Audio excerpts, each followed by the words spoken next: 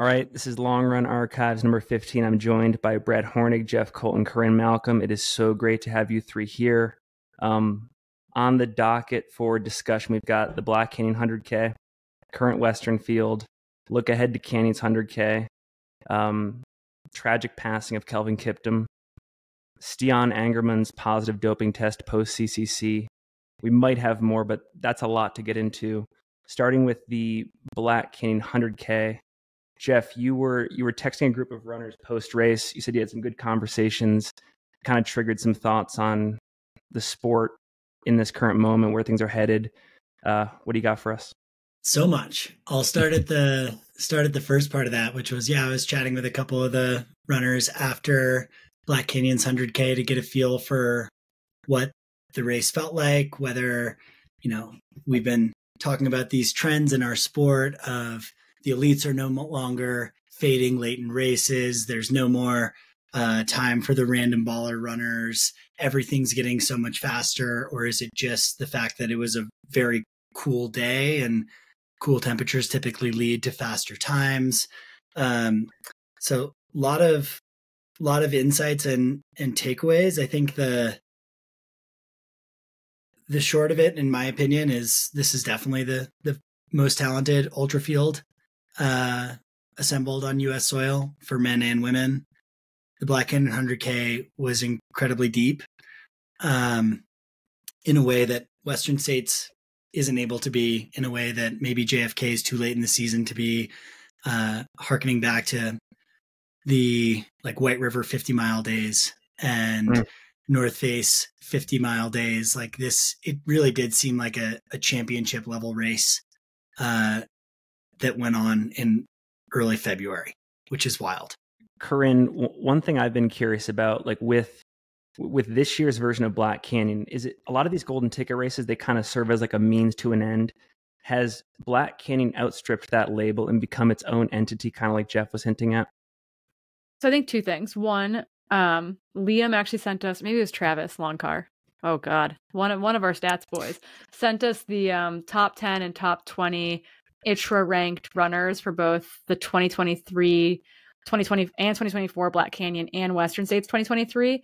And technically the the Black Canyon fields were on par or a little bit stronger.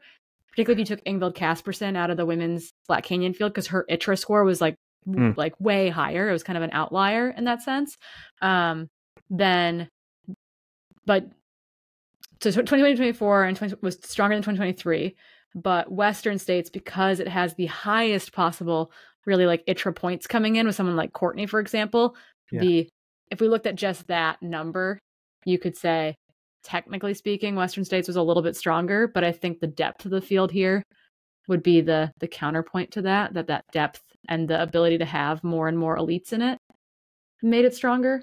Um, from a outstrip the golden ticket title. I think that Black Canyon has always attracted people that might want a competitive race outside of a golden ticket because of the timing of it, this February timing on domestic soil. But I think what we saw this year was that on steroids, mm. just like really, really setting itself apart as this 100K season opener building towards something else. Maybe it's a 100 mile, but we saw someone like EmKay Sullivan who didn't want the ticket and is going to go race shorter for the rest of the season, still want to be in this 100K field. And I think that is very telling. I hope she gives it another go. I want her on the 100K scene a little bit yeah. longer. Yeah. My hot take from Black Canyon is that we all need to be doing our ankle exercises, both like mobility and stability, um, because I think many of the DNFs on both sides were big old ankle ankle rolls. Hmm. What do you think, Brett? Where's your mind at post race? Yeah, I think what, you know, Jeff and Corrine said are totally on point. You know, Black Canyon is just turning into a world class race. Um, and we're hearing more and more too in some of the previous interviews. Oh, I just want to be here because that's where everyone is. You know, I just want to race people. And it's pretty amazing that we see, you know, I mean, yeah, we definitely did, did still see some blowups and some drops, but the depth of the finishers, like the times, the people that just kept rolling in. I mean, yeah, we were there calling the finish and it was like there was hardly any downtime which you just normally don't see over a you know eight nine hour race yeah um, the top 10 spread was super super tight Yeah, The and top we're just 20 like spread was tight. seeing people sprinted in, like having to hold people off in the last quarter mile, which is, I don't know, that's just like some nightmare juice. But that's just what we're seeing in races like this now. Um, and yeah, it's really exciting. It's just, it's just cool to to see that that's where you know a race like this is headed. Courtney Dauwalter is going to run Black Canyon in 2025. I have no doubt. Uh, I hope so. Calling it right now. Let's see it. The way too early prediction. if it does become sort of like the early season version of TNF San Francisco back in the late 2010s, I do like that idea of it just being its own island, and maybe maybe Jim Walmsley wants to come as well for the first time. I'm actually surprised he hasn't run it yet, given that he's like an Arizona native. It's his backyard that he had. I mean, schedules shake out the way they do. He has certain priorities, but I would love to see him there as well. That'd be fun. Jim and Courtney headlining 25. Let's make it happen. Well, Yep. let's, well, our people will call their people. I think Um, uh, one ahead, of the one of the comments from Eric LiPuma, um, who finished seventh, was uh, like that last year. It almost seemed like you know, with cooler temps, the greater running scene saw um, saw Anthony, Tom, and and Janusz kind of like break the mold and and prove that you can really send it under eight hours, and that maybe people need to go out even faster than uh, than the already very fast pace at Black Canyon. Um, but looking at both, you know that that benchmark year last year as well as the last couple years, um, you know we had a 75 degree year in 2022, about a 60 degree year in 2023, and a 50 or so degree year in in 2024. So cool temps like going back to some 2017 2018 jim walmsley interviews from western states around course record po- possibility or plausibility like cool temperatures definitely do impact you know that that late race um attrition Hmm. and i think the the blowups we saw here were more due to folks running their legs off than dehydration or or like heat effects Mhm. um, and one other small note chatting with John Ray about the kind of comparing the CCC race with this race. In both races, he went out really hard. And in both races, you know, his goal was to to be in the mix and try to hold on. And CCC, and an arguably, you know, maybe the only deeper 100k field, uh, he was able to hold on and and be right with the the top finishers. Um, this year for Black Canyon, it sounded like, you know, the impact of a flatter, faster, more downhill oriented course just was that much more wear on the body. And interesting to think of like the mountain course versus the fast downhill, like Black Canyon can be viewed as like just an extended marathon. There's so much more muscular damage to the the ends of your uh you know quads and hamstrings as you're actually taking much bigger strides and you're not necessarily getting those eating hiking breaks. Um so yeah interesting to to think about that strategy in those two parallel races. Um i had john as my pick for the men's winner. Mm. um he he had a rough day. It seemed like everyone who had a golden ticket had a rough day. It was definitely a day for the runners who had something to gain as opposed to nothing to lose. One of the things that I lament looking at both of these top 10s right now is I want both of these top 10s lining up at the 2024 Western States 100. It is such a bummer that you take the golden tickets from this race, whoever takes them at Canyons, there's going to be so many people that would make that race exciting that will not be on the starting line. That I lament that. Even though there is something special, of course, about Western States having, uh, you know, a, a narrower range of selection than an Aravaipa race. I lament that. I don't know what you guys think. I mean, I think part of it though too is that you look. I think there's a 33 minute spread between first and 10th on the men's side. You, Mm. I think Steve Kirsch's Instagram post was like, Yeah. "I've been thinking a lot about those 180 seconds," and it's like Yeah. it's true. Like, I mean, Eric Lipum in seventh was five minutes out of a golden ticket, and it's like you just weren't there when the move was made, basically, even though you guys weren't that far off off the pack. They didn't run they didn't run the back 10, 12 miles any slower, you know. Craig Hunt, in Mhm. fact, ran it way faster than everyone else. But it was one of those things where it's like, yeah, it was really, really tight. And there were a bunch of guys and gals just knocking knocking at the door and didn't quite have it this time, which happens every year, right? Golden ticket races. There's always someone. Arroyo Co and Anna McKenna last year, I think, finished fourth in several golden ticket races, ultimately not getting Mm. to be on the start line for Western states. Like that is the the nature of the golden ticket game. Yeah, I love that quote. All a I've part of the thinking a allure. lot.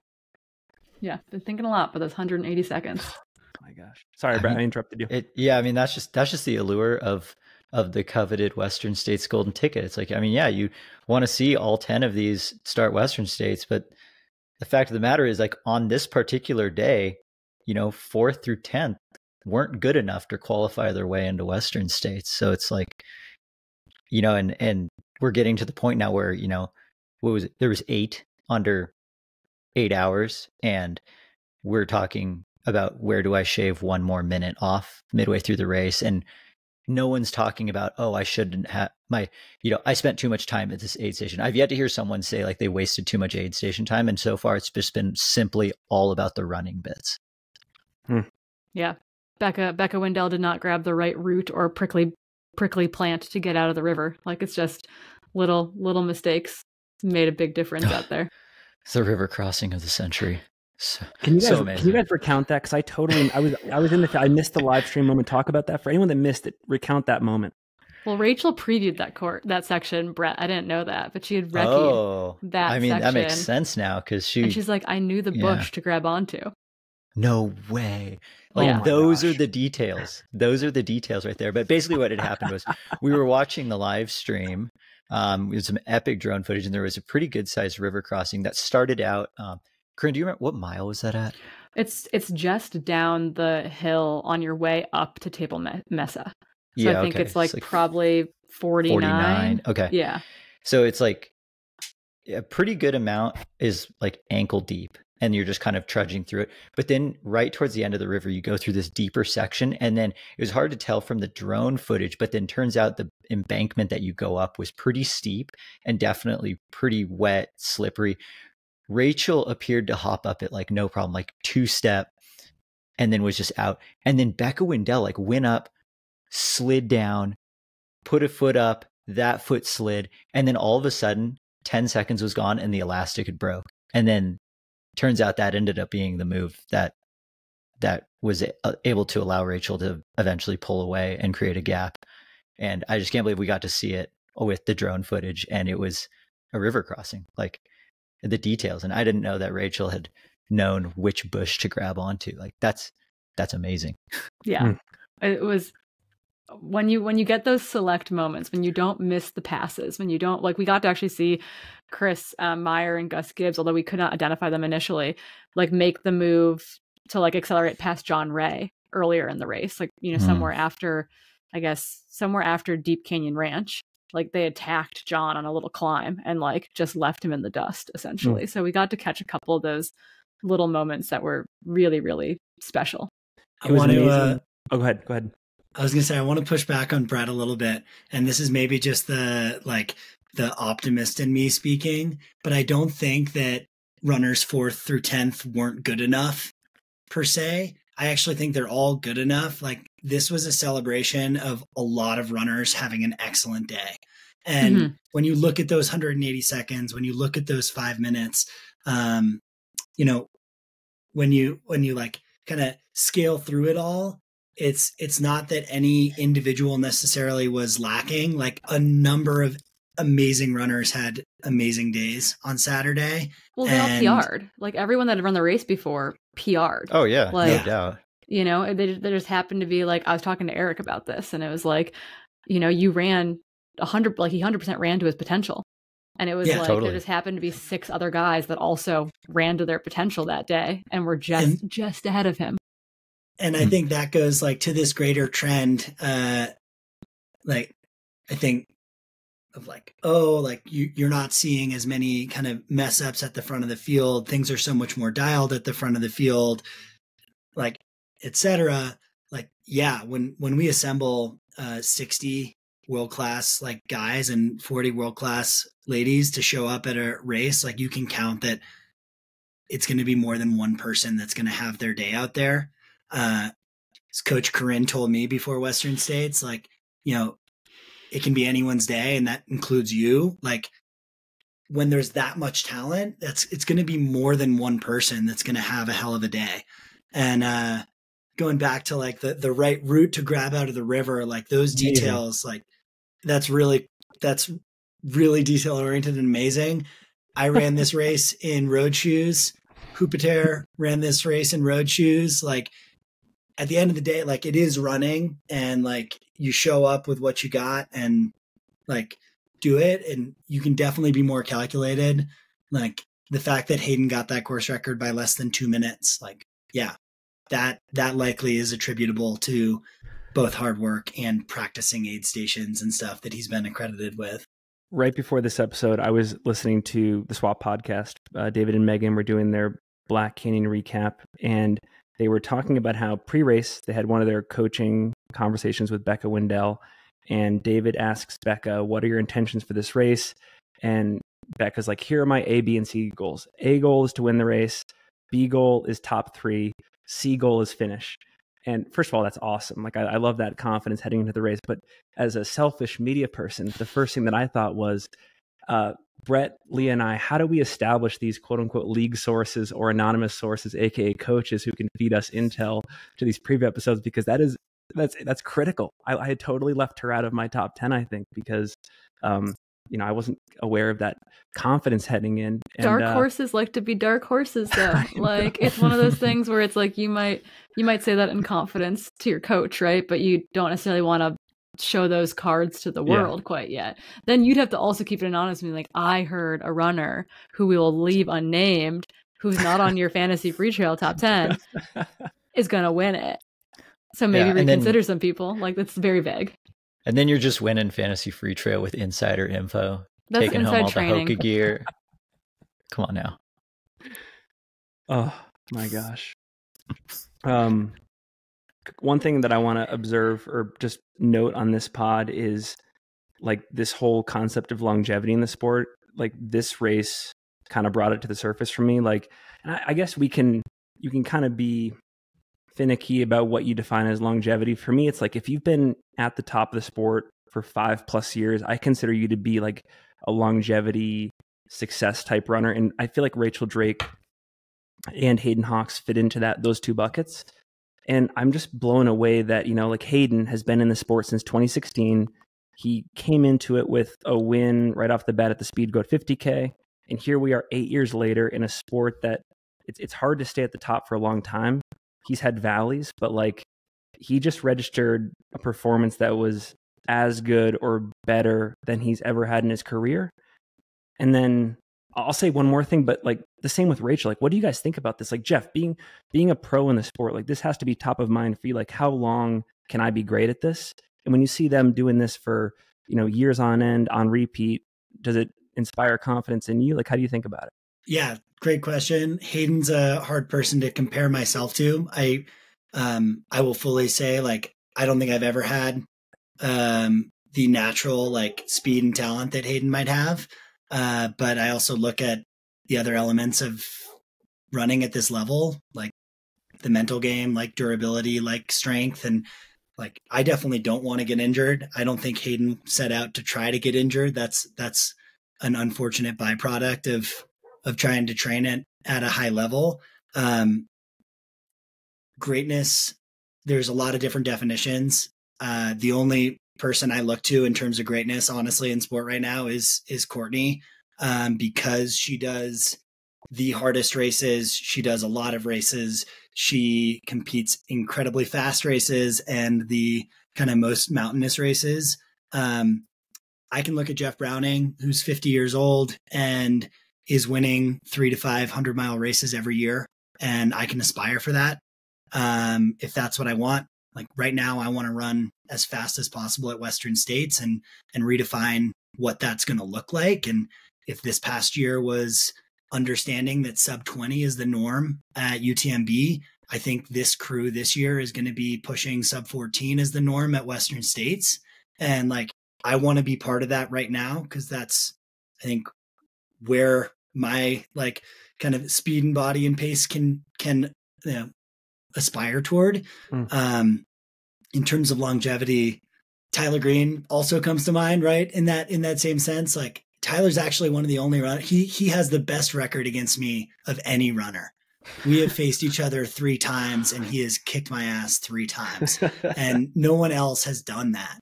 Um, but like Tyler, I mean, he's he's pushing the envelope at age 39. Courtney's pushing the envelope 38, mm, 39. Lauren Puretz. 40. 40. Yeah, and yeah. Lauren Puretz, who took the third golden ticket for women, is a mom of two, a, a gyneco- like a gynecologist, and is 40. Like she did three surgeries on Thursday before flying in for Black Canyon, Amazing. and like didn't know she was in third until she crossed the finish line, and she's 40. And I'm just like, yes, like okay, there is there is a future future here. But I, I want to add that I think Hayden is another example of an athlete too who has the combination of talent, hard work, and support. And I think that there are there are probably some athletes in this field who have the talent and have the hard work, but don't have the same level of support an athlete like Hayden has. And that will start to we will start to see a gap form potentially at the mm. highest at the highest end of our sport in that in that regard, just because like Hayden's on one of the better contracts in the industry, mm-hmm. like has a very supportive wife and family. Like that is not the case for everyone in the sport. And so it's like, yeah, hard work and talent will get you so far and get you get you really far. But that support piece, I think, is going to start to elevate some of the athletes even higher. Yeah, that's definitely something that we've. I mean, we've talked about that on so many past long run archives episodes. Is like worth how. How much more professional you might need to be in order to continually operate at that high of a level year after year. Um, I guess one thought that I had when you were talking about that was like at this age, at this day and age in the sport, how does that person who has the talent, even some like really, you know, high achieving results, the work ethic, how do they get that contract? Like there's so many, like we could see in the results, there are so many people to choose from who should get that support probably could potentially be thrown down Hayden Hawks type results. Yeah, I think we need a, I think we need the leap? UCI standard, right? Like the UCI road road team standard, where like there's a there's a minimum living wage, which is probably well above most of our retainers in the sport. Mm. Um, and I think that that would be like a great a great base threshold is to go to like whatever the UCI like they've they've already established that for their field and they like have slowly elevated it for the women's teams because the women's teams for the longest time didn't mm. have to didn't have to meet that threshold um but that has like that goes a long way right like they they are provided a living wage so they're making like i think it's a minimum like 40 or 50,000 euro a year or something is like the minimum contract on like mm-hmm. a UCI pro world team one thing I'll add, and I I think I feel like I've been wrong about this the last two years because I've been predicting that it's going to come like tomorrow. We have not yet seen like that gap you described, Corrine. We have not yet seen that gap separate between like the consummate pro and this like hybrid person who's still working 30 to 40 hours a week and also training super hard. Like if you look at these Black Canyon results, there's examples of both types of athletes in the top 10. I'm I'm shocked. Like I'm I'm impressed, but I'm shocked. Yeah. And mm-hmm. Finn, we've talked about this quite a bit, but I do think that different runners have different needs and different balances. And like I like, you know, side myself with like Leah Yingling on like, yeah, you know, the time that she took off from working this summer, actually she felt like she had more anxiety around running versus she went back to work and felt like she had more balance in her life. Um, it might it might be you know a component of the of the mental game and what works in your headspace i would say this sport is incredibly mental. Um obviously you still need the the physical fitness but um there's a there's a huge headspace component to it when it comes to race day. And if you have a better you know balance in life and kind of better overall headspace because you're working part-time or full-time or you're able to commit yourself to things outside of running and and take some of that pressure off. Mm. That here's could be my, here's advantage. my pushback. My pushback though is that if your employer Jeff, if you, if if ZipFit came to you and said, "Hey Jeff, we're really stoked on the things that you're doing outside of the office here. We are going to keep you, like, you'll keep your benefits, but we're going to let you go down to 0.6 FTE, right? Like a part time sort of thing. Maybe not, you know, like, so you're still working. You still have hours of your day dedicated to a job that's mentally stimulating, that's different than what you're doing when you're putting right foot, left foot out there for workouts or whatever. Like, I think that, like, if there was that, would you take it? Like, I think going mm-hmm. to a zero zero job for me would not work with my anxiety and stress and all that. But if I could say like, hey, you know what? I'm going to go to 0.5 FTE or 0.6 FTE and I'm only working 20 hours a week. That sounds like mm-hmm. that might be really nice. I, am calling unfair, leading the witness. You know, I don't have the time. You know, I don't have the time of day to like roll out and do the recovery or ever take a nap or yeah, do Co- these Coach like Corrine has feelings key, about this. Key things. Um, and yeah, that like that's that's part of it. But I'd still I'd still choose where I am as opposed to pushing all the chips in. Um, if I pushed all the chips in, I'd end up finding like a serious watercolor habit or like some some type of like passion outside of running. Mm-hmm. Um, I do want to jump You'd back. Pick up knitting. I yeah, I already knit, knit, bake bread, got it going on over here. Um, he's I taken. Jump back. He's taken. The, uh, he's getting married. It's a whole thing. Wow. Want to jump back to the uh the Hayden comment because like Hayden, yeah, like he came onto the scene, and in the same way that Jim did, right? There's this the like doors off. Yeah, is he going to be a flash in the pan? Is mm-hmm. this like is there staying power here, or is this going to be you know three years and that runner's burned out? And like my first introduction to ultra running was working in public relations for Hoka when both of these guys came onto the scene, and like that was every conversation I had with like journalists and media around the ultra running space was like, can these guys actually keep it up? And I think that that doubt and pressure earlier in their careers is what maybe forced their hand a little bit to pull back from those 150 45,000 vert weeks that Jim might have been doing in, you know, 2016, 2017, um, and, and dial it back a little bit to look at it in a sustainable perspective.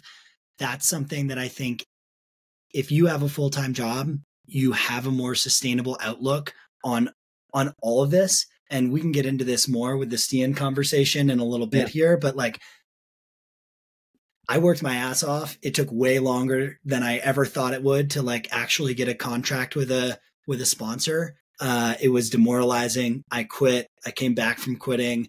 I didn't think it would ever, you know, happen. It did happen eventually, and it did take fully like three or four years longer than I than I hoped it would. If I were to lose my contract, I still have the ability to pay my rent. I still have a lot of things going on and and let me tell you like this Stian situation has had me like all sorts of like what is this kind of like diuretic false like how does this all pan out like and I've gotten all the anxiety texts. Don't worry. Yeah, these contracts are them like it's it's not like oh like you know we necessarily have your back if if you were to get in trouble or even accused of doping. Like some of these contracts are as explicit as if you are accused of doping you owe the brand back what you've been paid. Like you know we're talking about someone's livelihood like with Stian in a in a very real way. And that's where I've been like maybe we shouldn't even speculate. Um it's like, nice to have several an, rocks right? It's nice to have yeah. like you know, a, a, a things that are stable outside of running. So it's like when my job sucks, running's really nice. Or when running sucks, my job's really nice. Or when I broke my pelvis, it was nice to have other things in my life to like keep things moving smoothly. So there's a balance there. But I do think I would I just wonder, you know, like if we took a little bit of Drew Holman's stress away, would he just like would he be even better than he already is? Like or, or Rachel. I mean, Rachel's a doctor, right? Yeah. Yeah. She's been all sorts of levels of levels and iterations and of, of stress. Yeah. yeah. So curious. It's a lot of speculation. Yeah. Brett, That's what I this have... podcast is for. Brett, I have a question for you. And I, we, we've, yeah, we've talked about this, I think, on one of the latest long run archives. But like, if we're talking golden ticket structure, back in 2018, there were, I think there were five or six American based golden ticket races. They all took place in that like January to April stretch. Now the series is more spread out year round, it's more international. Um, races like Black Canyon are, are weighted more in terms of more golden ticket opportunities. When you think about like how this whole thing has been transformed in the past couple years, which version of the series do you prefer? And then if you could make any updates to like a 2025 version, what would they be? So like the immediate knee jerk reaction is always like bring the whole golden ticket series back to the states because I just love seeing five high octane golden ticket races like back to back to back to back to back and people can like drop out of bandera come back and get a ticket at you know black canyon someone who misses at black canyon gets to throw their hat in the lake sonoma georgia death the, em- like the Emily Hawgood thing, right? Like three yeah, like Emily races just in a goes for row. three of them and then gets it and then runs well at states and just is like and and now she's in like like yeah the amount of golden ticket races that emily Hawgood has you know turned herself inside out on like has earned like five western states entries. But um i think in terms of like moving the whole golden ticket series international i need like one or two more years of seeing kind of the results play out. I feel like th- two years ago it was still not quite like a worldwide thing. Like like the races were golden ticket races elsewhere but i feel like it hadn't quite caught on yet like what's going on. And i feel like that's finally starting to take shape and i kind of now i'm really curious to see like how the international you know golden ticket winners do at western states because it feels like it's it's gotten a little bit more serious. Like we're seeing less we there hasn't been any of these international golden ticket races yet this year to you know not have every single golden ticket accepted um so i'm yeah i, I want to see at least one or two more years because I'm, I'm just looking at uh It feels weird to Oh, say like guess- this is the first golden ticket race of the year because it like it is Yeah. Tech by like Mhm. on technicality, but it's like the it's like the second to last stop though on the golden ticket hunt, which we yeah, I did we did see like over like Becca Wendell led the first like 50k of the Grindstone 100k this year, and then like came back to run Black Canyon. So we did have a little bit of that story playing out, but not to the same degree of of them being like U.S. centric, spring centric, etc. Um, I was a big proponent though of them pushing it to another time of year in part because I wanted the East Coast to get one. So that was kind of like Mhm. a, a, a a bit of that did get solved in that way, but it does feel weird where it's like people have been racing, yeah, for six months for a golden ticket at this point. Well, Corinne, is it my is it my American bias showing when I say that Javelina and Black Canyon have had the best media presentation, or is it the case that if I truly analyzed every single race internationally, like Black Canyon and Javelina, the other races measure up to it in terms of live stream stuff like that? Because like what I worry about, There or what I wasn't one. At, yeah, there wasn't one at Grindstone this year at at all. Grindstone. And Doi Inthanon was like, it's some, but it was kind of, I think, like a hard a hard stream to follow from a timing perspective. I think that, I mean, obviously CCC had great coverage. yeah. Um, but yeah, Javelina and Black Canyon definitely like knocked it out of the park. And I have no idea if there are any plans for canyons because we were supposed to live stream canyons last year, and then at the last at the like the eleventh hour, UTMB was like, "No, our guys were there two weeks ago and tested the connectivity and didn't want to do it." And so that's where Dylan and I like ran an Ethernet cable from the uh, the newspaper office to the expo area to like run our like little pseudo live stream. So it's like, yeah, the I mean Mountain Outpost I think is like who who gets the kudos on that front for being like a pioneer in the North American takeover of live streaming. And we had we had a Japanese live stream Sweet. for Black Canyon, including in like on course commentators for the Japanese channel. Like that was next level. And because another thing, the the news was made public today. which Thursday, February or Tuesday, February thirteenth.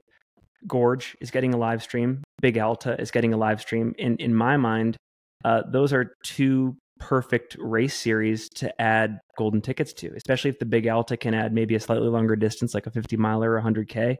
Um, yeah, I don't know. Like I'm just seeing moves made by Mountain Outpost and, and Freetrail and It's Daybreak. the free like, trail be, takeover. it'd be pretty cool.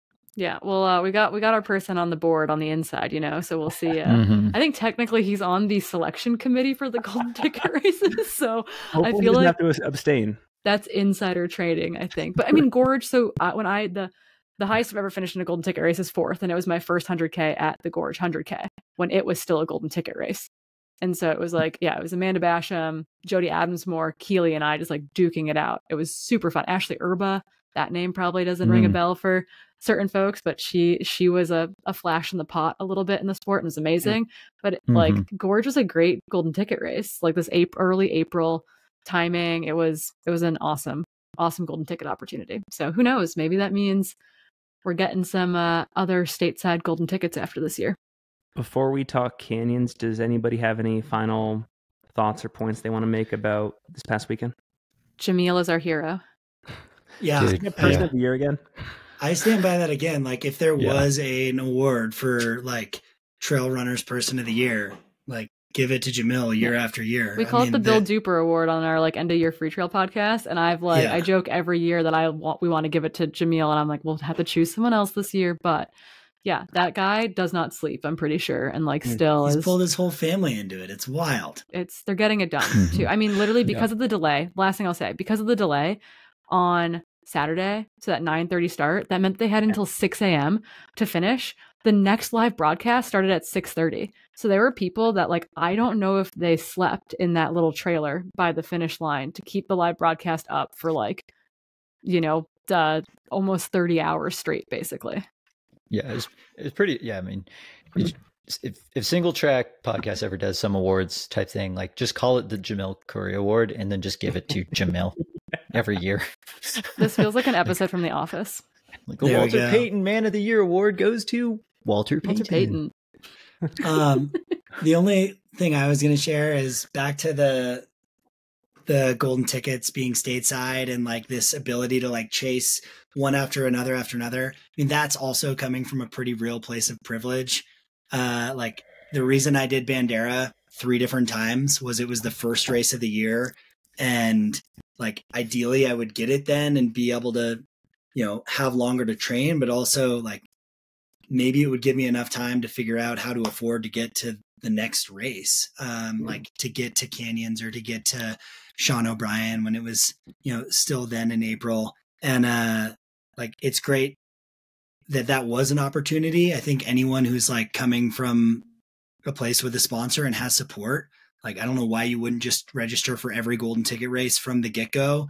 Um, and you can always drop out of them later. But you know, my path to like getting to Western states was pretty simultaneous, like or uh, parallel to my attempts at trying to get a, a shoe sponsor or some support in the in the trail running space and like definitely messed with my head a lot. Like talking about this with y'all last night i was like having some weird uh weird emotions and, and flashbacks to just being so discouraged like not getting what i wanted at bandera coming in third and reaching out to other race directors and then telling me that there was no spot for me in the race and like another year I missed out on Western States. And like deep in my core, I knew if I could get to Western States, I was confident I could get top 10 and like, you know, then just get invited back. And I'll say right now, like I did, I happy I was not racing for a golden ticket on Saturday.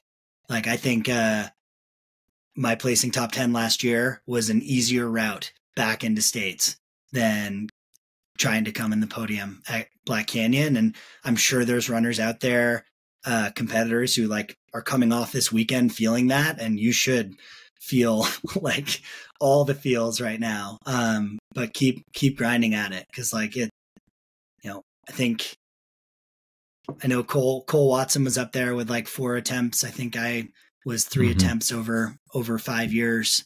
Like Western State's a really cool race it's not the end of the you know end all be all, but uh, it can be a long road to get there.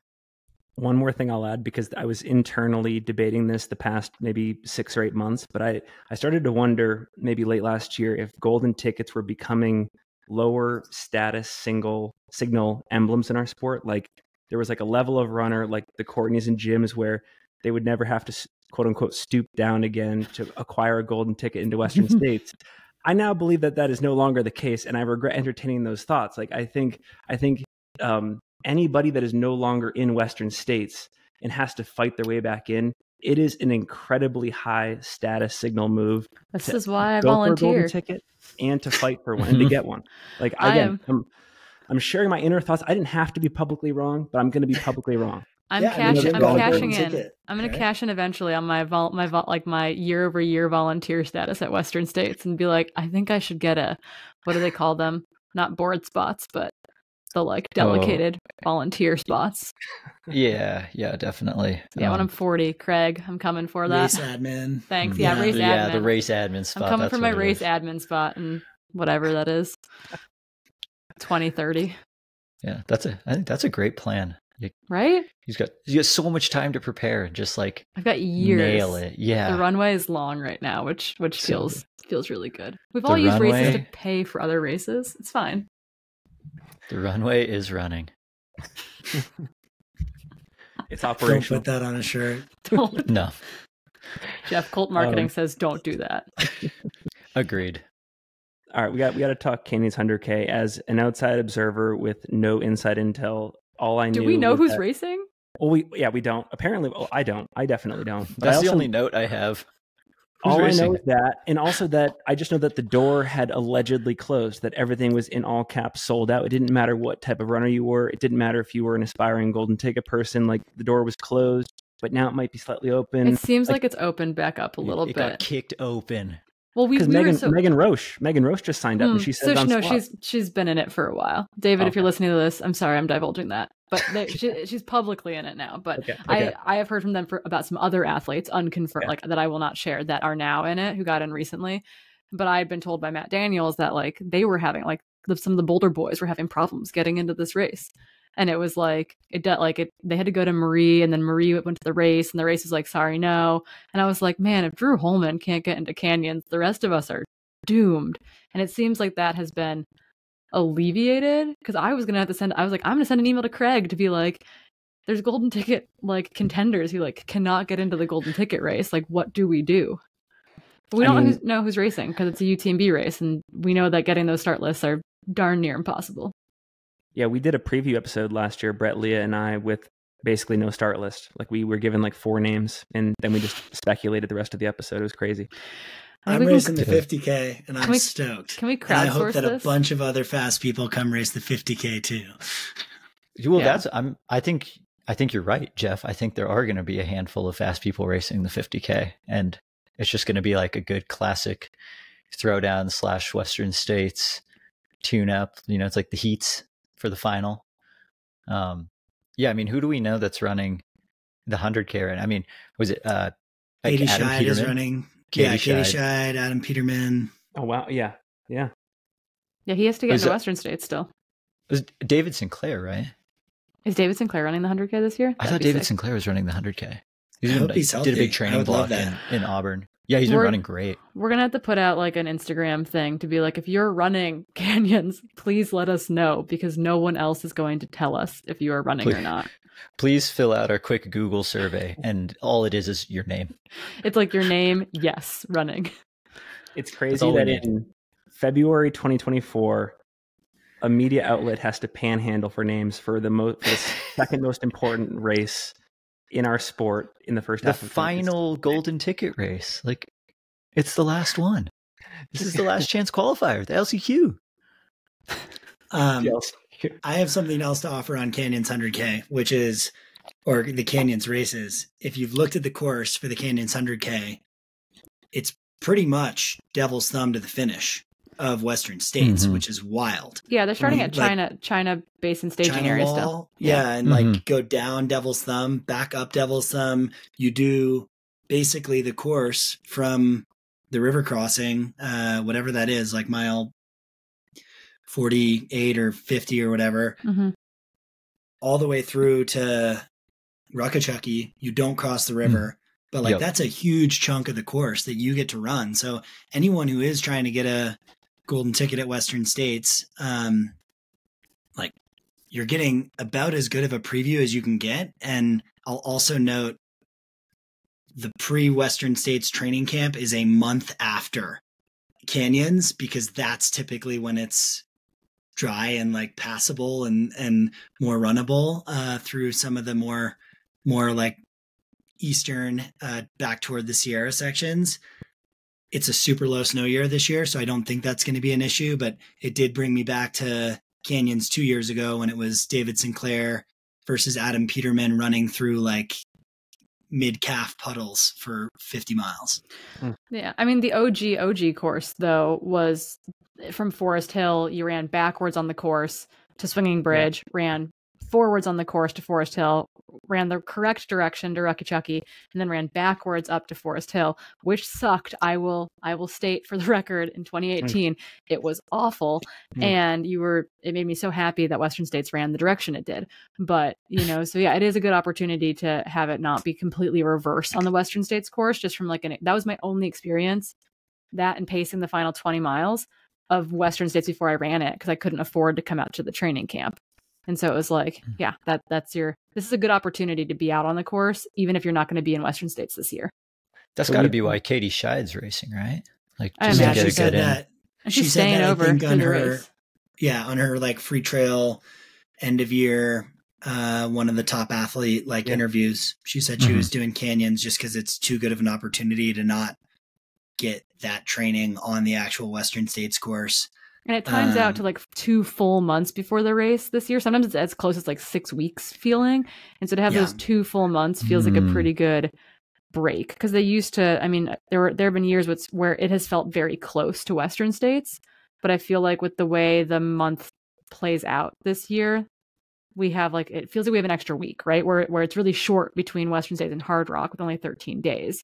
So it's like I don't know. I think yeah, don't do that double, Brett. Don't even think about that double. The media double mm. is like hard enough. So the oh, running yeah. double is next level.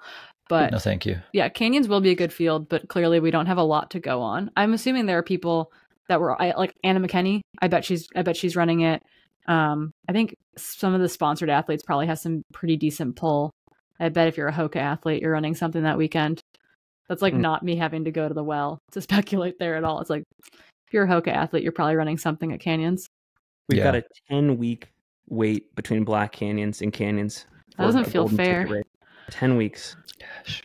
I was just writing down a couple ideas. Like I would love to see Hellgate become a golden ticket race. That'd be good. Give East Coast representation at like the end of December, early January. I'd love to bring back Sean O'Brien, Gorge.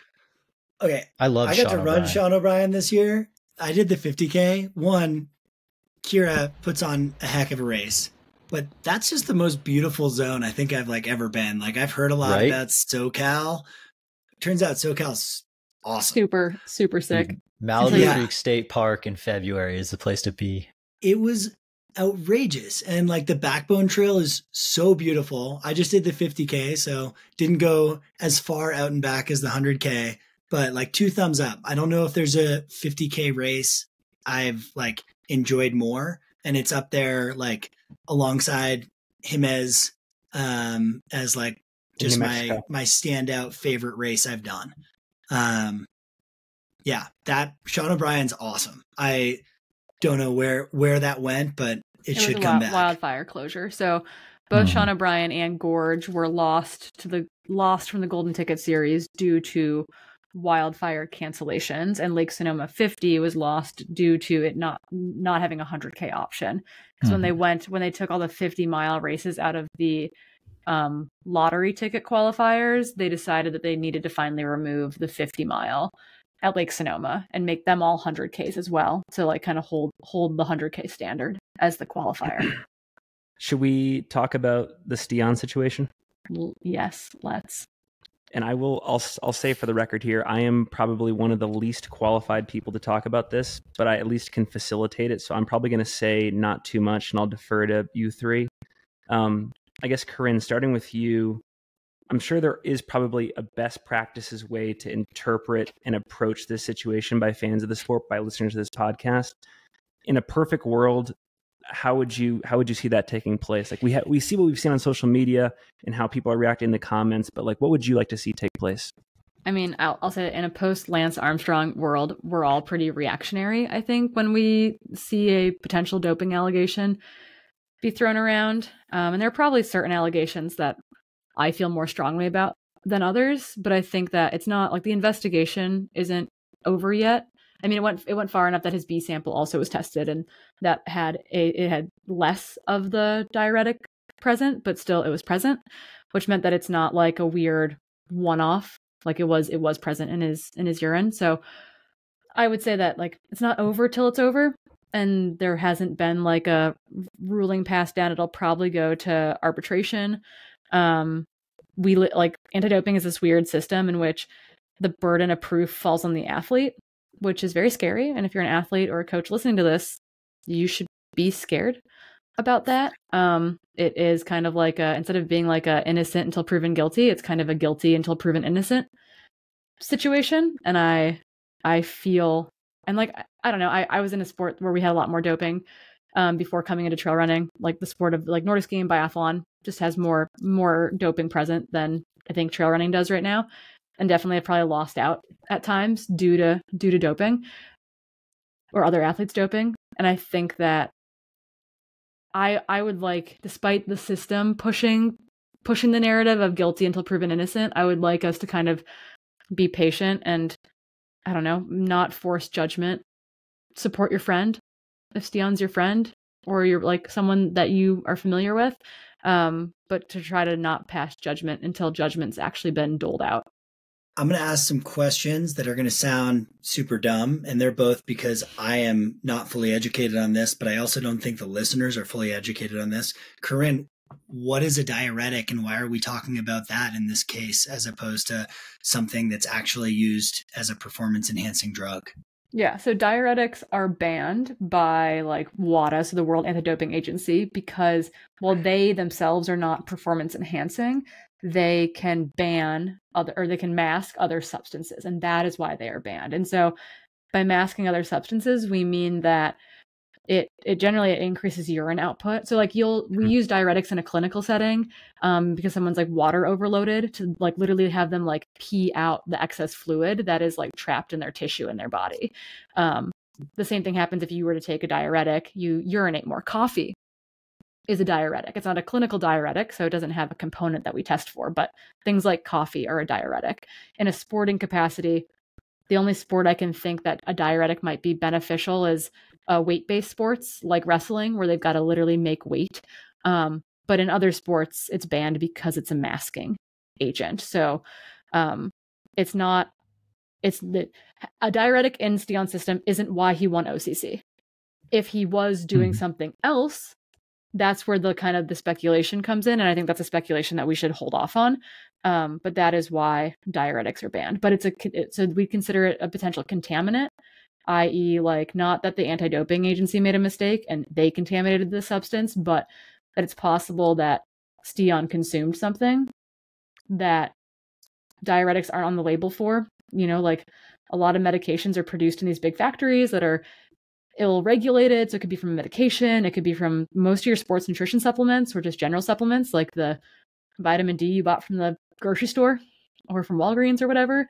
Like none of that's regulated. It's not tested um all sorts of shit ends up in there and so that's kind of where for like on uh, like from my side it's like okay like i go with the innocent until proven guilty because it's like this very likely could come from i don't know any sort of substance we saw it with brenda martinez and that's an article that i sent to finn and jeff about it yep. um brenda martinez amazing 800 meter runner um like kind of disappeared all of a sudden and i was mm-hmm. like where is brenda and it turned out that she'd been going through this big a both emotional and like legal battle to kind of clear her name and it's because and it turned out that the, a diuretic she tested positive for a diuretic and it was in her antidepressant. And she hadn't been public that she was on an antidepressant and that's a whole thing like people are very private about their mental health status etc and so i think it was like twofold right? Like she had to go public about needing to take an antidepressant and then also like that was in fact where the diuretic came for came from. And so it's just like this shit happens all the time. And it's really easy, again, in that post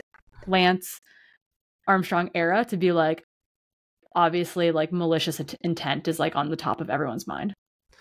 I also have a dumb question. Um, my question revolves around the timing of the release of the information. So, if there's still an opportunity for Stian to clear his name, why is the information released at the time that it is? Because one of the first thoughts that I had in this whole situation is regardless of whether it ends up being the case that he did dope or he didn't dope, just by virtue of this stuff becoming public, his reputation is forever tarnished because there's always going to be people that say, regardless of the evidence presented, I think he doped or whatever. And like he might lose sponsor opportunities, he might lose race credibility, he might be blacklisted by race directors, all that stuff. So, Corinne, how do you address that? Yeah, generally it's like once the I, I, this might be in part because we don't really have a sport body that's got jurisdiction, and so generally speaking, like that's called we call it results management, where like the they call it NADOS, the National Anti-Doping Agency, um, that ran the test that was contracted by UTMB was the French anti-doping agency. They generally would then report to some sort of other national body.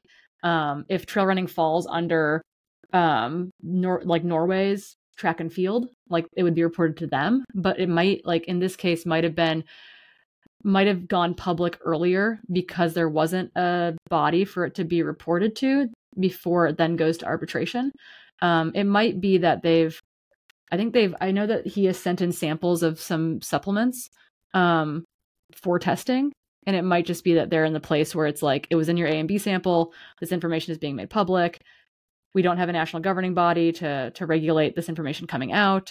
Mm. Maybe he made the choice even to get in front of it potentially um, and not sitting on it a little bit to kind of try to share his or I don't know, just be public with the information. Generally speaking, though, it doesn't be like the national governing body. So like Ali Ostrander, right, had served a four month ban. Um, the ruling did not come out until her ban was basically over, and that was per the U like per USA Track and Field. So I don't I think part of that is complicated by us not having national or international governing bodies. Which is like a huge pinch point for us like getting out of competition doping controls like even put into place in our sport right now. it's the wild west and we like don't know how to educate and or handle trail and ultra runners. And there's this other thing like we don't know how many ultra runners are being tested even. It's called atoms Um, and in part that's because we get lumped into anything above 3000 meters and so we have no idea how many trail and ultra runners are getting tested each and every year in competition or out of competition because we are lumped in with the 5k 10k marathon and road athletes and so hmm. we're we've got this major pinch point and it really comes down to like no international governing body to kind of take responsibility for it hmm. yeah that's super interesting how there's just this big group of like either athletes or fans of the sport being like there needs to be more doping control in trail running but then it's like okay maybe it's there.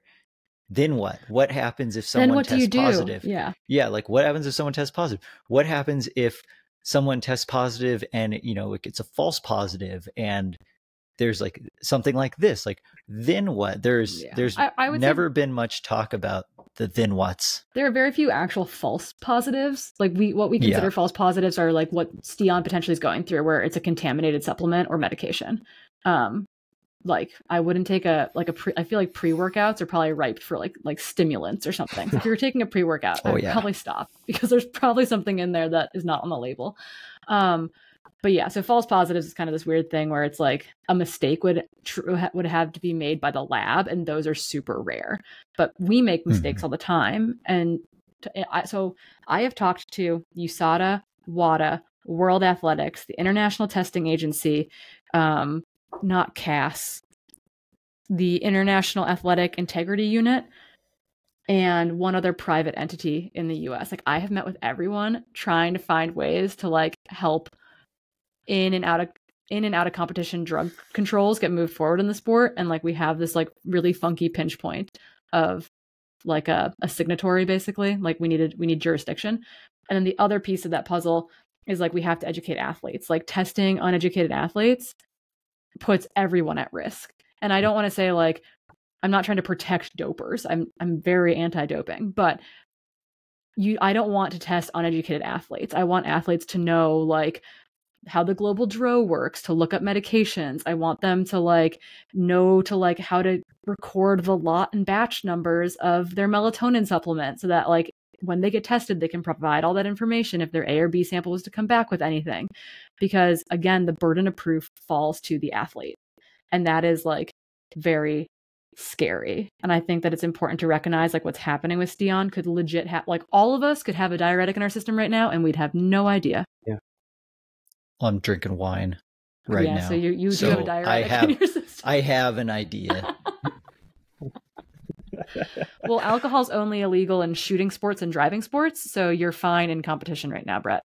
Sweet. that like that was the biggest takeaway of all this for me like i've you know in my seven years involved in this sport like i've seen the uh kind of calls from you know sage and company on twitter for like increased uh like drug testing and stuff in sport and like i've never really thought twice about drug testing because i've never taken performance enhancing drugs and then This is Jeff just being like, I'm on the record that I am a clean athlete. uh but this like reading both um francesco puppi uh his post as well as like Stian's post like and learning a little bit more about it like yeah i was like fully like freaked out this past weekend and was like going through like i have a nutrition sponsor and i was like looking through like what they're providing for me and was like i take one supplement of like vitamin d like what how could I be screwing this up? And like, how can I take better uh, record of this? Cause like, as I mentioned, I do have another job and like I have some job security, but like I have a ton of respect for, for Stian and especially what he's done the He's last got couple two years. little kids. Like he just had a new baby. Like his wife Yeah. like had a baby boy hmm. like just a couple months ago or like very very recently. So I'm, I'm definitely not one that's going to jump to conclusions, but also like he's, as of now, he's not competing for 2024 and hmm. coming off of two world championships and winning OCC, that's a pretty big loss if if that's how it shakes out. Like Yeah. that's that's a life changing financial blow. Yeah. So like one thing athletes can do, like if you do need to take a supplement, this isn't going to protect your medications because medic who knows what's in them. Um, once again, lot and batch numbers, record that information. But a bunch of companies, not a bunch, there are some companies in our sport that do their own testing and they're generally labeled as like safe for sport. I think they're labeled as NSF. Um, and that like that kind of gives you a secondary guarantee that they are testing the batches as they are produced to make sure that they're not they're not contaminated. Um, so I think like Thorne tests all their product. There's a number of products, but you can like you can search for products that like specifically have that uh, certification. Yeah. Like so, then your vitamin D isn't. I'm sorry, like nature made or whatever. Um, I don't want you to lose your career over a nature made vitamin that you picked up at your local Safeway. So Proceeds to go into medicine cabinet and throw away all of my nature made stuff that I got two for one sales at Rite Aid. Well, you know, and it's one of those things where it's like, I think I think athletes that are on contracts, athletes that are competing at Western States, UTMB, any World Series race, Golden Trail World Series, you need to be really careful about what your supplements are and if they're mm-hmm. regulated. A bunch of us probably don't need to worry to that extent right now, but I would still keep track of those lot numbers if you are going to be at a race where, you know, drug testing in competition is becoming more commonplace. Not to go all like Socratic method on this episode, but I'm sure that there are people listening or watching who are like strong hardliners on the doping issue. On the other hand, there's some like high latitude empathy people out there. In those two camps, Corrine, Jeff, Brett, are there any compelling arguments that they're going to be screaming into their headsets that we haven't acknowledged yet that we should at least acknowledge and walk through maybe why we don't believe it's the case? Normally that's my job. I like live text Finn when I'm listening. I'm like walk I'm generally like walking my or running and I've like have to stop to like live text Finn my commentary to the podcast. So it's really weird that I don't get to do that this time. I don't know. I think it's I think it's hard. I've got sympathy for like the diuretic thing. Like I think that that's pretty benign. I don't know. Maybe I'm too empathetic and I've been around a bunch of weird sports for a very long time, but I think that, you know, as the sport grows, as more money comes into it, we are at higher and higher risk for there being incentive for doping. Um, and I think that there needs to be a real call for race organizations to potentially band together. So maybe that means not, not every race has anti-doping controls, but you know, everyone puts into a pot. And, you know, X number of races a year get to utilize that pot for testing at their events. Um, but every race gets to sign on to say that they have this anti-doping stance. This is the framework they'll they'll use. There could be testing at their race, etc. And maybe that means that you know Black Canyon gets the testing this year and Hong Kong 100K gets the testing next year, but it could always be present. Like I think that there's a real a real need for that. And then if there's someone out there who's like really really creative and wants a job that doesn't pay well and might make you a hated person, reach out to me um, because I have been tasked single handedly to try to fix the presence of out of competition testing in the sport, it feels like. And I'm coming up against a bunch of really big walls right now. So uh, if you need a job that doesn't pay well and or, or pay at all and will make you hated by many people, slide into my DMs. We can we can get to work. You need a marketing you... person to pitch this if you want to meet all your trail running heroes and get to go to their houses, that's what I was just about where to they ask. live. No, this job is, is, for the you. The thing is, you don't get to. You, I'm not gonna. You don't get to do the testing. You're not going to be the traveling phlebotomist. No, no, you're not uh, traveling. Like the, the job is not. The role is not to do the urine collection tests. You sickos. The job is to be the person who's willing to figure out how we create a global DMs entity. Are just getting flooded right now with people who really want to see people pee in cups. No, this was like yeah. my college experience. I was one of like six athletes in the state of Montana who was on USADA's out of competition testing pool. And my now husband, then boyfriend, was as well. And so they'd spend the entire day at our house because they'd come for an out of competition test and test both of us conveniently the same day. And it'd be like my evening time slot with like 12 friends over to have dinner and USADA shows up and I like can't pee in front of someone and so there's like waterfall music playing through the house and like a round of applause when I come out of the bathroom with this like strange older woman who's been tasked to watch me pee. Like it's not a glamorous job. I don't wish it on anyone, but the job that needs to be done is this like kind of bureaucratic annoying global entity forming piece of the puzzle that the athletes mm. can't hold. Like the PTRA can't do it technically, but we could liaison with this entity. So if you would like to create an international conglomerate organization that would have global jurisdiction, that's what I want you to hit me up for.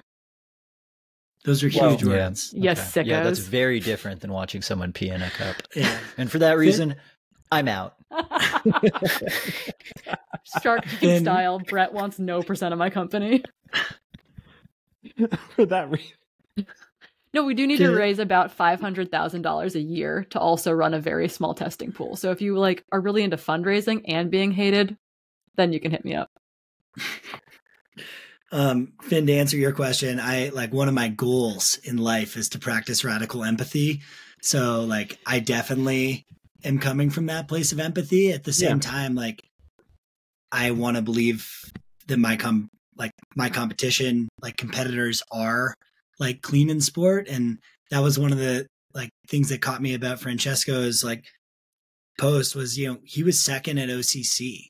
Like, and to be the person who would, you know, have that windfall if something did happen with Stian, like he's calling for empathy and like yeah. holding off on speculation and uh yeah like i think the like the the humanitarian in me like wants to wants to believe these people especially those like i look up to and i'm definitely still at this place in sport where i look up to a lot of my peers and competition um the same time I'm like so into track and field right now because it seems like world records and American records are getting broken every weekend. And then like this weekend it all dawned and was like, is everyone just like doping? Is what's going on here? Uh but material doping. It's the super shoes, man. Yeah, it's crazy. And I I I, I yeah, I don't want to call this a trial run because it's definitely the real thing that we're experiencing, but my like sad prediction is that there's just going to be more positive tests from other athletes that we're going to have to confront uh, in the next couple of years and i think how we respond to this one and like what we can learn from it and what we can implement like you were saying corrine as a result i think will be important for the years to come and there's a lot of work to be done and it's a shitty job it's a shitty job like. i think as a competitor mm-hmm. as a, an, as a competitor and as a self-proclaimed fangirl of the sport um, I do think that it's important to not become cynical because I think it's really easy to become jaded and cynical and be like, well, every like question every performance, question every out, like, right? Do we have to start questioning Courtney? Right? Like, she's she does the impossible in cycling. When mm. someone does the impossible, you're like, ooh, yeah. seems sketchy, and I don't want to do that. I like Courtney. I want her to be this amazing thing in person and athlete, and so the fangirl in me, the competitor in me, needs to not be cynical because yeah. if I become cynical, I think it's really hard to to want to be in the sport still. Yeah. Yeah, you can't you can't enjoy it if that's the mindset you take right? to any sad, of it. Like you sad existence. Yeah, yeah, you couldn't go to a race and be excited about what you're seeing if you're just like, oh, these people are clearly cheating because they're beating me. Um, and yeah, like that's just not the way. I mean, it's clearly every, yes, every that would be a, that would be a lot of dopers. It's, it's like not actually me, but yeah, you know what I'm saying. Brett's got a yeah, bone to pick yeah. with with people. With quite literally everybody. And um, we have a role to play. Like all four of us have a role to play in the sense that right now we're recording this episode. It'll be listened to by a, many thousands, seven or eight people. Well, it was it was a year ago, seven or eight, but it's changed. Dozens and dozens, dozens, dozens and dozens. I, I retract that dozens and dozens, dozens and dozens. But we all of right, our moms there will be some level of directing of the conversation uh, at play here, and so we do have responsibility in that. Yeah, and yeah. like I, I'll be the first to say, like I look at cycling, and like a, this past summer there was like one guy who won a stage of the tour that I was like, he won by too much. I don't think he meant to win by that much. Uh, you gotta look tired, kid. Yeah, and like, I think in cycling, it's easy for me to like just be like, oh well, you know, because of Lance and like the history of this sport and the mockery that's been made of it. Like, I still love the sport, but I'm much quicker to jump to those conclusions in cycling.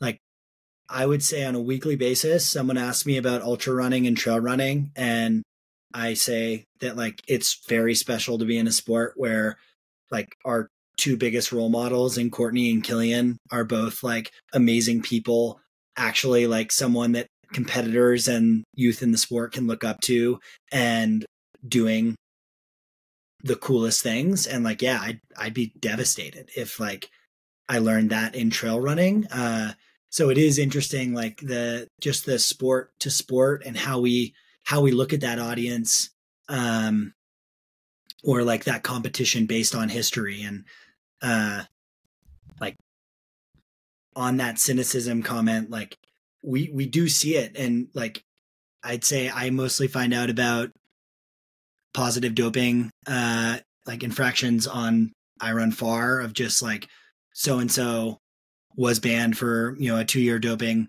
violation or so and so has been you know uh banned and often it is runners who are also marathoners or 10kers um because that's where more testing is happening testing it and more monies in, in that side of the sport too. But we, we definitely are in a sport that's the Wild West where there are a lot of races making their own rules too of like zero complete zero tolerance, which is like a different topic that we don't have to this rabbit hole of sorts. Um but there I'm are a people, rabbit. You are a rabbit. um are things like I, I don't create all I don't know all, all doping infractions are not created equally I mm. guess mm. and I think we we in the U.S. in particular like kind of just like or we're ubiquitous in our it's a big word I feel good about pronouncing that one ubiquitous about our doling out of judgment and like social punishment of people who I don't know if you're on EPO and a bunch of weird stuff like yeah I'm gonna feel nasty thoughts about you probably yeah. but I don't know if you like I, I think I think that it's not like a one punishment fits all and that's why there are different pun- there are written warnings there are you know there are short pun- like there are short punishments there are very long punishments there are lifetime punishments and i think that that like system exists for a reason and it's kind of my view that like that system is fine to respect that i'm like not a person much to people's chagrin who thinks that mm-hmm. like dopers should be all banned for life independent of what they were caught doing type of thing this just came to that point. This just came up on my radar like yesterday, but I didn't know that iRunFar has like a policy on doping in athlete coverage. Maybe Corrine, you know this, or Jeff or Brett, but they have a one strike you're out policy where they will include the athlete's name in like a general preview with the note of their doping history, but they'll leave them out completely from their like classic, you know, iRunFar pre race interviews. If they are podiuming in the post race interviews, that's really interesting to me. Yeah, and they and they will they will report like if they if they do finish in the top three or top five, whatever they're reporting on for that race, they will put in the note of what the doping infraction was and when it happened, etc. And they've just like kind of always always had that, um, which has been of use to us as far as just like tracking kind of movement yeah. in into and through the sport. Yeah, I mean, I think that's I think that's fine. That seems like it makes sense. Yeah. Like I would rather them keep them in the article and make a note rather than like silence them altogether because then I don't know.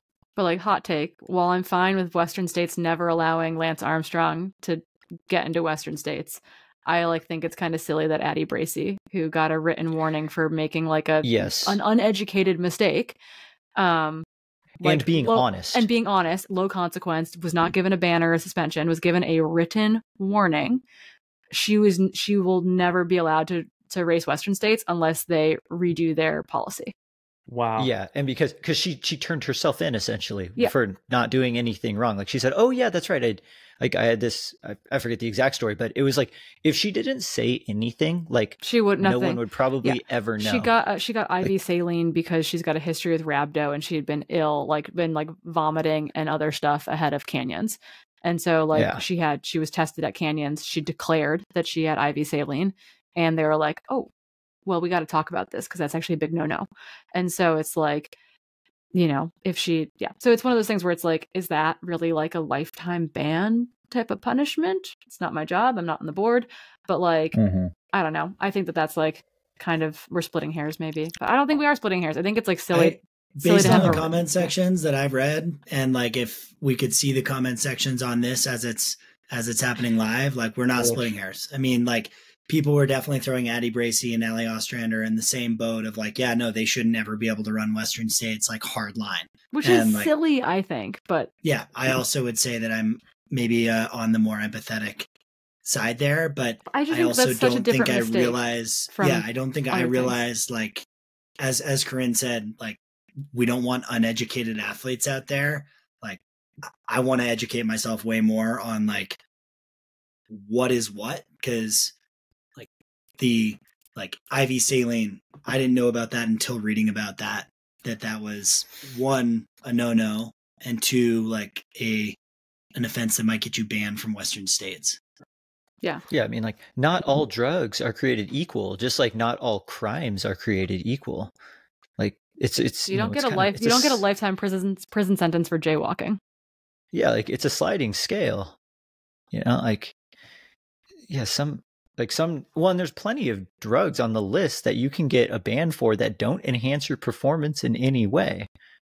It's like, yeah, that's why it can't just be like yeah. a solid line like that. Well, yeah, and we've got well further confusion too with like TUEs, therapeutic use exemptions, mm-hmm. right? Like, if we were going to introduce in competition testing, like athletes haven't been under jurisdiction, i.e., they've had no one to apply for a TUE through. And so it's like you might be on a medication that requires a therapeutic use exemption that your doctor has to help you fill out, and then it has to be approved by USADA. Um, and that's just like we've never had to do that. And so we've got athletes who like might need or who are on medications that they have to have USADA like approve thoroughly. And it's just like trail and ultra athletes have never had to have that experience, don't don't know about having that experience. Yeah, and I think that's something that a lot of um, maybe fans of the sport uh, there's like a disconnect to that in how complicated it is to be a professional athlete in in that regard and that there are so many little rules and nuances that you have to know and there's not i mean there's a few sports where it's been implemented for a long time and but there's there's not like you know if all of a sudden tomorrow there's like an ultra running league and there's random out of competition doesn't like there's no handbook that every athlete gets where they're just like okay do this. So when they you're just all of a sudden this, expected to know. when they when USADA introduced a global testing pool out of competition for MMA they had a six month no like no fault policy. So if you messed up your whereabouts filing, if you messed up your so if you had a weird supplement, if you didn't know anything, despite them like walking you through modules, they had a six month like no fault policy where like they didn't punish anyone during that time period as they were onboarded because they needed the Mhm. athletes to know what was legal and what was illegal coming into the system because so I, I talking to like the American Trail Running Association and USA Track and Field, they're given X number of tests by USADA to use in trail running events that are like national championship or, or world's qualifying events, etc. Um, and they generally are like allocated to a po- like to podium finishers and or sometimes like a random. And they've had a couple randoms, like it's generally like masters men who are like on testosterone without a therapeutic use exemption because like I don't know, doctors just like love to give tired men testosterone. Um, like It's a great pop business. pop positive. Oh, it's great, it's super lucrative. Like test positive because they get the random drug test at like you know they're in the fifty to fifty five masters age group at like ten k trail national championships, and it's like so silly that like that's what's happening, but like that is like those like those positives in trail are generally like that scenario, which is ironic that the test got delivered that way. What a great use of our money. hmm um, I will say, like, there's a lot of things about being an athlete that you don't necessarily know about, and you might have to Google. Like, I think the the conversation around uh, like having an agent or having some representation is like a really interesting one when it comes to like, all right, how do I file my taxes? Like, how do I do a lot of things? The IRS And- knows how much money you owe, Jeff, but if you mess it up and they come and collect, you're going to jail. Like that's what Lifetime ban anti-doping from is. I Western love that states. meme. I You love know? that meme. It's like Right, they know exactly how much you owe. That is anti-doping in sport. Yeah, so I actually like a couple years ago I googled like how do athletes file their taxes? And it brought me to usatf.org and there's basically like a first time filing your taxes as a track and field athlete? Here's a resource for you and I just googled the same thing and sure enough usatf.org has like a huge swath of resources for uh, track and field athletes on understanding anti-doping uh supplements, prohibited lists, therapeutic use exemptions, etc. So, like if it's if it's putting trail and ultra running under the same umbrella as USATF, which I guess mountain ultra trail is often uh, considered that. Like there are some resources out there. I'll say without any like athlete representation, no one was like, you should know this stuff. Um, I'll likely read up on it tonight. so, uh, We'll have a pop quiz about it next week, Jeff. yeah, I'll start Yeah, sending you multiple choice questions. like i think the the point on education and then the point on like if this is uh actually instituted if you know out of competition testing is instituted like yeah there are athletes who likely need therapeutic use exemptions and that needs to like it's almost like it can't all happen it can't be black and white and it can't all happen right at once um but definitely in favor of uh of fair sport I have one more question that I want to ask you guys, and it kind of has to do with like how this ends up being resolved, if and when it ends up being resolved. And so, like, based on the outcome here, let's say it's positive, let's say it's negative. What is the if it's if it turns out that, like, for example, Stian is cleared of any wrongdoing, what is the best way to reintegrate him into the sport? If he if it turns out that you know he was in the wrong, that he did cheat, what is the best way to punish slash excel, expel the athlete? Well, here's the thing though. There's there's a third category that is missed there because it's like he could still technically like this could be a contaminated supplement. Like he could Yeah. like there's a this there's like the, it's like the like he, they find where the diuretic came from. He's cleared. They don't find where the diuretic came from. He can't prove his innocence. But the dude probably didn't dope anyway. That's number 2. And then the third is like they can't find where it's from and it turns out that they like find something else, you know, whatever. So it's kind of like this weird that middle ground is probably worse actually than either of the other options. Hmm. And I think the other thing to consider is just timeline. Yeah, the timeline is also purgatory because if the investigation continues on through August, Yeah, well, they'll consider they'll, they'll they'll consider time served. So, say like in the Allie Ostrander incident, right? Like it was like kind of time served. So it was, it was from like last race forward. So it's like they will probably count anytime post OCC. Like say he gets a I don't know, they find it or something. but it, they still make him serve some sort of ban, which would be silly. They like so could have time they? served. Well, they at this point would probably be he probably has to take it to CAS, which is like the International Arbitration Court for Sport. Um, they probably have to um do that. I think he probably has to foot the bill of testing these supplements, unfortunately, and then it would have to go to the like the Court of Arbitration in Sport, CAS. There we go. That's an acronym. I figured it out. Um, that's where it would have to proceed, and then they could rule on the state of punishment, essentially. Now I Okay. get why all these ultra and trail runners have law degrees. My brain is like, it's so messy. I mean, we didn't. I think one of the articles said Stian hired an American lawyer for this, which like that just kind of made me chuckle because I was like, yeah, that that makes sense. Hire an American lawyer for for If something the like diuretic this. don't fit, you got to acquit. yeah. Yeah. pretty much. also don't put that on a shirt. Not yet. Not yet, at least. Oh boy.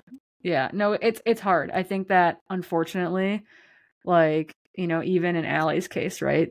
Like, you know, she like she immediately admitted fault. It was like once again not a thing that was going to like boost her performance, but is banned a banned like medical like medical compound that was found in like an uh like an acne medication, I think.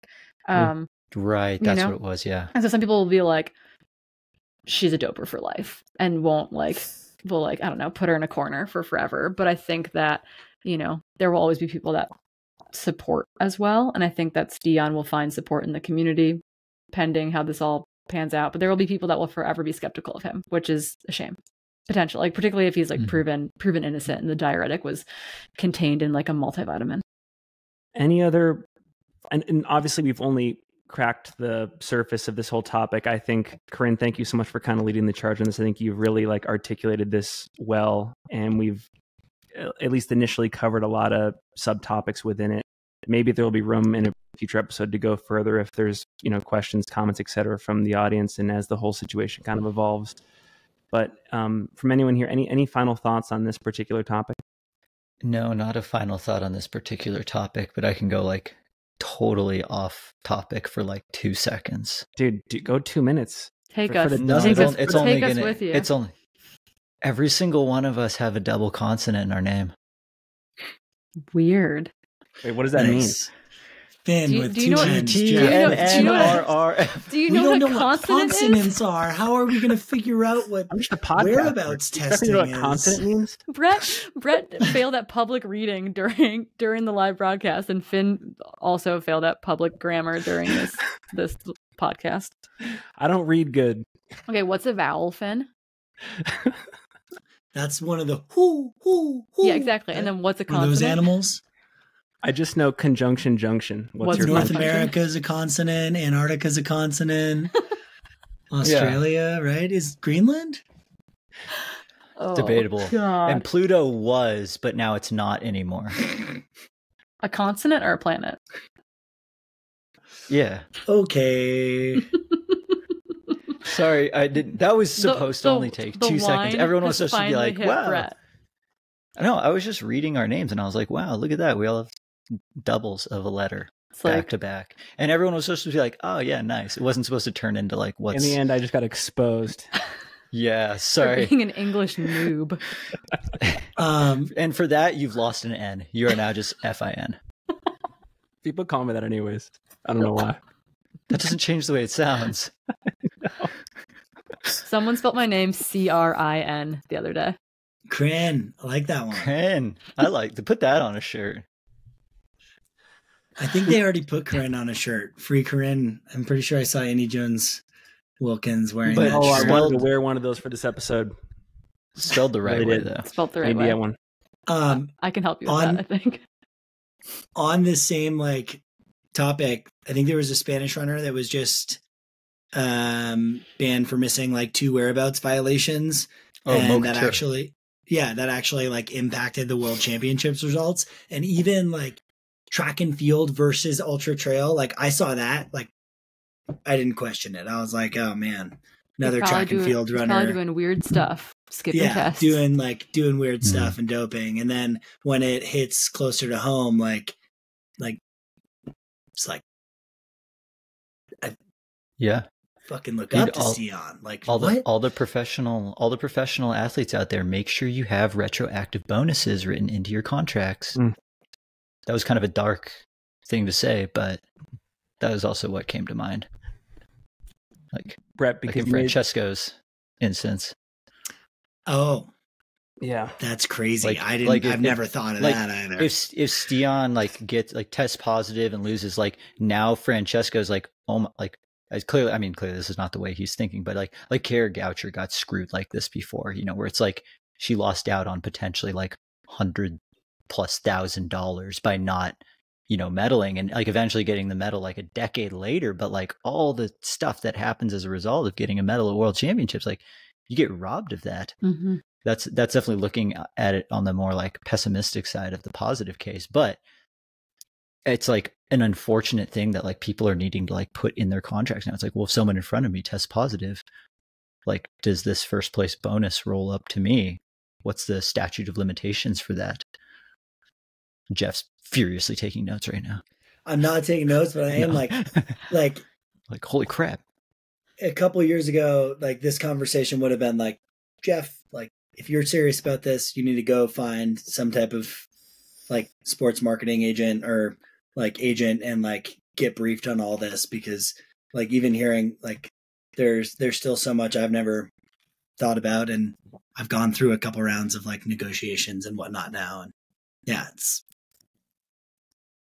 it's one of the, one of the cool things about the wild west you can you can negotiate whatever you want Rules Jeff. just keep getting made. It's great. yeah I'm you just gonna can be out make- there in a full NASCAR suit, patches everywhere. yeah you can have that you can have sponsored that by Fig Newtons.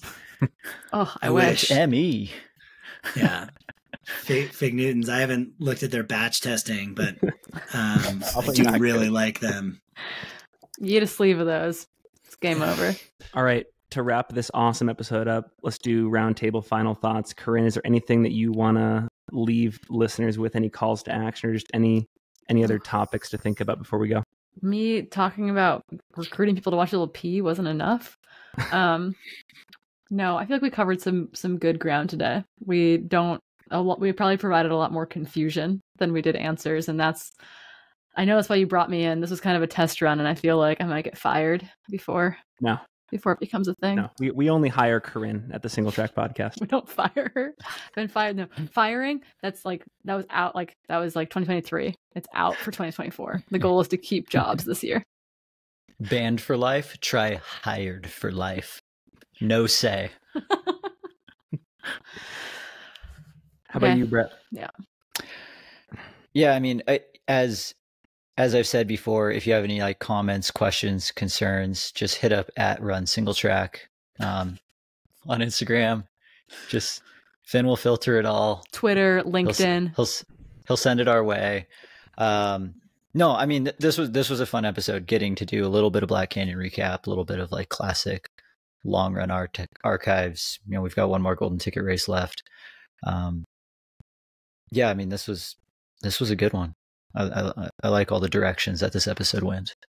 How about you, Jeff? Jeff is like the bread is burning in the oven. Yeah, I was like, Jeff, did your bread did your bread come out okay? I took it out. The bread's fine. I was actually, I was just thinking like the, as we talk about the Wild West, like I do think the, the Wild West is still in the, the FKT world and like in this world of actually like trying to go do a set route faster than anyone's done it, whether that's in competition or out of competition. And, uh, it just had me thinking like what, like what would eventually be like if, if that's monetized and, uh, people are getting bonuses for for their FKTs, or there's eventually put together a prize pool so that you know runners can make somewhat of a living seeking out these like elite you know elite trails around the world to to go fast on. Like how you know maybe that's the the next wave that like track and fields one example now and mountain ultra trails next maybe like world championship mountain ultra trails next and then trail running as a whole is next like the fkt scene is the one that has the the most time to kind of like learn and and evolve and um Become the enhanced games. That's like already coming to fruition. Ideally not becoming the enhanced games like i i was saying that like in a in more of a i don't know i think there's a lot of purity in like FKT efforts and stuff, but I also think there should be incentives for uh, some of these incredibly fast runners who who like that style of racing and competition to go do that. But when you put a dollar sign on something, it starts to like uh, lead toward we need to formalize, we need to you know professionalize. I mean, keeping us poor definitely keeps my love of my love of running more pure. Someone mm. famous said that recently. Is that Steve Prefontaine? Not quite. I've got three. Uh, the first, Hayden is in the running for the best 100K mountain trail runner of all time. He's so dang good at that distance. Um, two, Brett, you're you're you reminded me earlier that we should do a Shark Tank episode of the Long Run Archives, kind of like doing like ask the audience to send in like a voicemail for a good product idea and then debate it on the pod. And then I was trying to think about like the overall takeaway from this episode. And, you know, we talked about Black Canyon, how it's getting bigger, the sport's getting bigger. We've talked a lot about drug testing and it made me realize that like athletes in our sport, like you, Jeff, like you, Corrine, like you, Brett, you guys have never like the spotlight for you guys has never been bigger and it's only going to get bigger and it's only going to get more oppressive. And Singletrack and Freetrail and iRunFar trail runner for better or worse we're going to make it bigger. Like the attention issue is just going to get bigger. And there's good and bad to that but um i just i think that like for me the takeaway is like i just have a baseline level of respect for athletes that like enter into the arena that compete whether you dnf whether you win whether you gut out a rough day i just think like it's important to reiterate that like you're going to get criticized and put under a microscope but like at least from us like hell yeah, just glad you're in it and you like give us something to talk about and follow. So that's my parting thought. One goofy thought. Yeah, end on a positive. that, that was too. That was too sad. That was too sad. I tried this like electric stimulation foot mat last night while we were at a little uh like friend's house, little gathering, and it was like you did this in public. Yeah, we actually all tried it. We tried to stand up and put it all the way to the max as it was like sending e-stim through the soles of our feet and like your knees would give out and you'd kind of fall down. But the the product that I want to pitch your Shark Tank is putting those e-stim uh like battery operated e-stims into footbeds into running shoes so you're getting stimulated while you're trying to run. Because i think the video of people trying to run as their peroneal tendons and achilles are like and then and then loosening would just be a riot. So i can't wait for your shark tank episode and i hope you guys get to try my my product. Yeah jeff is gonna jeff is gonna pitch like that no one's gonna send anything and it's just gonna be jeff is gonna create 14 fake emails to keep sending in ideas. If you get a chance to try an eStim floor mat that you stand on,